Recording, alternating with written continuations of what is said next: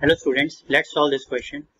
The distance between the point A 06 and B 0, minus 2 is okay. So इस question में हमें distance find करना है इन दो कोऑर्डिनेट्स के बीच में तो चलिए स्टार्ट करते हैं सबसे पहले हम लिखेंगे गिवन गिवन पॉइंट्स से A points are let's say the first one is A which is 0 comma 6 and the second point is B, which is 0 comma minus 2 these are the points. Okay? तो अब हमें distance formula लगाना है। Concept distance फार्मूले पे based है। So let's start solution देखिए। तो जो डिस्टेंस फार्मूला होता है,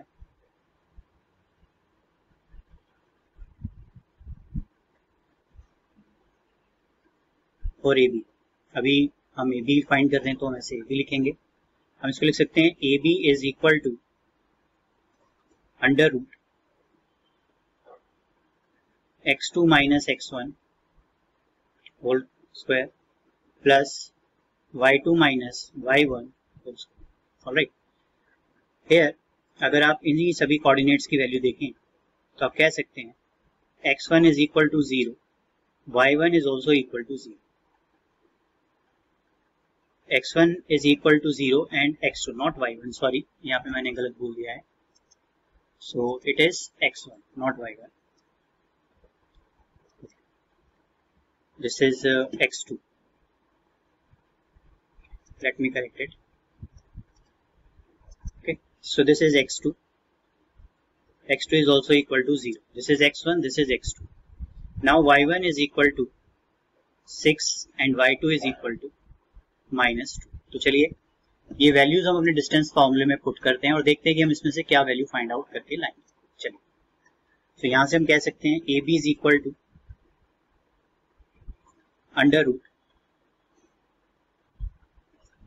zero minus zero whole raise to power two plus minus two minus six whole raise to power two alright so it is zero raise to power two plus minus eight raise to power इसको आगे solve करेंगे तो आप इसे लिख सकते हैं eight raise to power two because square है तो negative already cancel so A B is equal to eight right तो आप अपना फाइनल आंसर लिख सकते हैं यहाँ पे.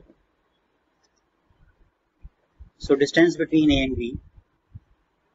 So distance between a and b is 8